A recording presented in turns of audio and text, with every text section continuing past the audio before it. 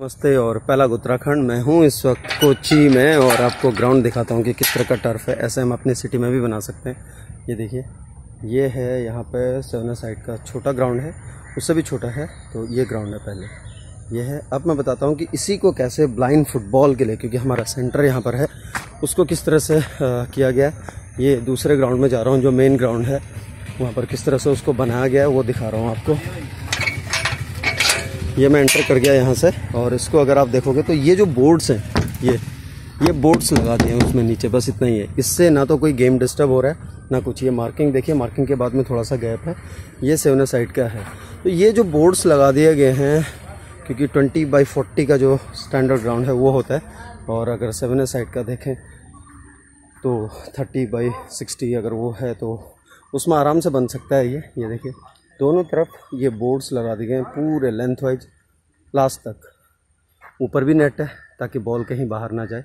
ऊपर भी नेट है, इधर लाइट्स हैं, पूरा कवर्ड है चारों तरफ़ से। ये लाइट्स हैं ऊपर, देखिए, और उसके बाद में ये कवर्ड है सारा।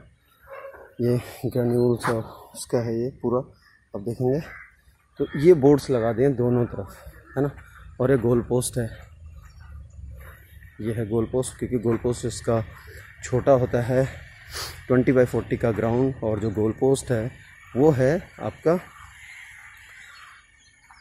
two point one four height और थ्री पॉइंट सिक्स सिक्स उसकी विथ है। ये जो गोल लाइन है, इस साइड को, दोनों गोल की तरफ़ को कोई बोर्ड्स नहीं है। आपने देखा होगा ब्लाइंड फुटबॉल में भी कॉर्नर्स होते हैं। ये है साइड में तो ये दोनों तरफ़ लेंथ वाइज बोर्ड्स लगे हुए हैं, दोनों तरफ़। ये और इसी ग्राउंड को, अभी ये मार्क्ड है उसके लिए, जो सेवन साइड है उसके लिए। लेकिन जैसे ही होता है तो इसमें हम मार्किंग कर देते हैं, यहाँ से टेप से मार्किंग हो जाती है ईजीली हो जाती है। जब हम इसको सिक्स मीटर का डी लेके जब बनाते हैं अपने स्टैंडर्ड के उससे तो वो आराम से हो जाता है। और ये येल्लो ये जो येल्लो मार्किंग है, ये गोलकीपर एरिया है। उसके लिए गोलकीपर एरिया इससे बाहर नहीं आ सकता गोलकीपर टू मीटर का है ये। ये आराम से इजीली एक ही ग्राउंड को हम दो में कन्वर्ट कर सकते हैं और जैसे इसमें जो साइटेड खेलेंगे सेवन साइड जब खेल रहे हैं तो वो भी डिस्टर्ब नहीं होंगे और दूसरे और जो बाकी लोग हैं, वो लोग भी डिस्टर्ब नहीं होंगे। ये है मैंने सोचा आपको दिखाऊँ। बाकी बहुत सारे सिटीज़ में जहाँ पर भी पॉसिबल है, ये हम बना सकते हैं। दोनों, एक ही टर्फ जो बन रहा है, उसको हम यूटिलाइज कर सकते हैं ब्लाइंड फुटबॉल के लिए भी। एक बहुत अच्छा है, किसी भी शहर में, कहीं पर भी अगर टर्फ बन रहा है तो ये भी हम वहाँ पे बना सकते हैं। अब फ़िलहाल हमारी प्रैक्टिस का टाइम हो रहा है, हम चलते हैं, सब आ चुके हैं। और ये मैं आपको ग्राउंड दिखाना चाह रहा था, क्योंकि आज खाली है तो इसलिए सोचा आपको दिखा दूँ।